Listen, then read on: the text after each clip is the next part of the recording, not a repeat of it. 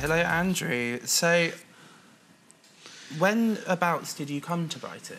I started coming to Brighton. I first came here when I was 18 and I came to visit uh, a school friend who Mm. was a sort of partner of us of a sort Yeah. uh, who was studying here. I was studying in London. And then in my mid 20s, um, after graduating, I started coming down here regularly. And I had a boyfriend who lived here. Uh, and we, we used to come down at the weekends. And he would stay with me in the week in London. Mm. And then we'd come down to their flat at the weekends because he was married.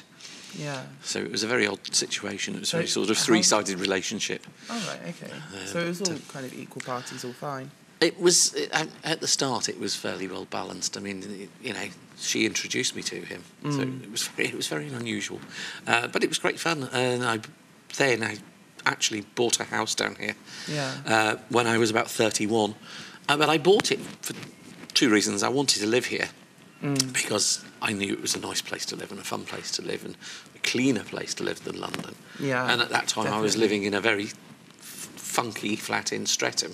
Mm. And my journey from Streatham into the West End to my job took over an hour. Yeah. And from Brighton, it was an hour.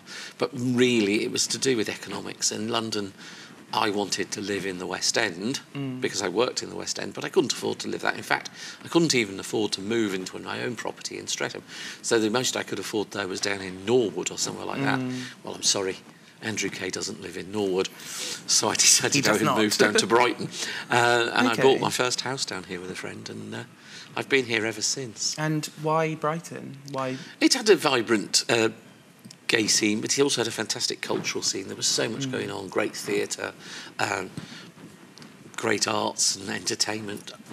Altogether, a fun place to live. Was everyone was kind relaxed. of aware of the gay scene in Brighton? Oh yeah, Brighton's time? had a very vibrant and very open gay scene for a long, long time, Yeah. and it's always it's always had a lovely seedy side and a, and a sort of glamorous side, Mm.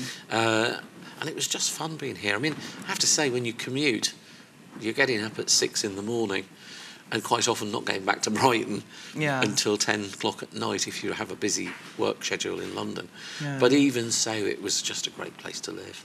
So when you first came to Brighton, were you out at that point? I'd been out for a long time at that point. I came Alright. out when I was in my school days, um, and most of my friends at school knew that I was gay. Wow. Then I went back in at Chelsea School of Art because we were all very serious and took Yeah, our focused, education. Yeah, Yeah. exactly. Um, and then I came out in about the second year. I went to a party and met this fabulous guy who was just glorious and beautiful. Yeah. And we had a, a short but very wonderful fling Yeah, And, as uh, you do. and that was great. And of course, then all my friends at the party saw that I was dancing with this boy, Yeah. and then kissing this boy, and then uh, so they all knew then.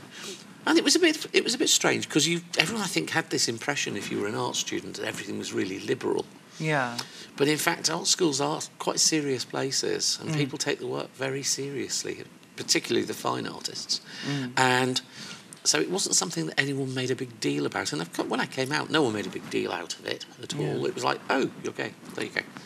And then I came out again when I was about 23 to my parents. Yeah. Um, And how did that go? that was fine. I mean, I was terribly frightened of telling them, and I think everybody is. And I was frightened of telling them because I thought, because they'd always been so supportive and they were so modern and they were quite young. I mean, my, my parents were very young when I was born.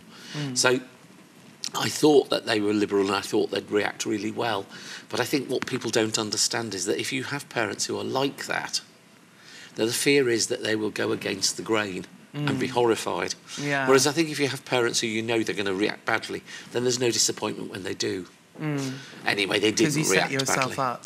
Yeah, you're in this strange position. Yeah. But it was, uh, I, I came out to them and it was fine, it was really good. And then I was very openly gay at work and I worked in mainstream publishing for a long time Wow. as a designer and as an art director. But I never hid my sexuality at all. I mean, I sometimes made a nuisance of myself. Yeah. So uh, it- when I was about 25, there was a meeting uh, of the NUJ with the pension is, provider, uh, National Union of Journalists Okay. with the p- pension providers for the company I worked for back then, Weidenfeld and Nicolson. And um, they were saying, oh, this is how your pension will work and this like this. And it was all very heteronormative. And I just put my hand up and I said, um, how does this affect me? I mean, if I were to pass away within the pension scheme, would my male partner receive any benefits? And quite clearly they wouldn't. No. Uh, and I just wouldn't let it go. And it was great. And I had the full support of all my colleagues who all said, we don't want to be a part of a pension scheme that is prejudiced in that way. Wow. So I did get fantastic support.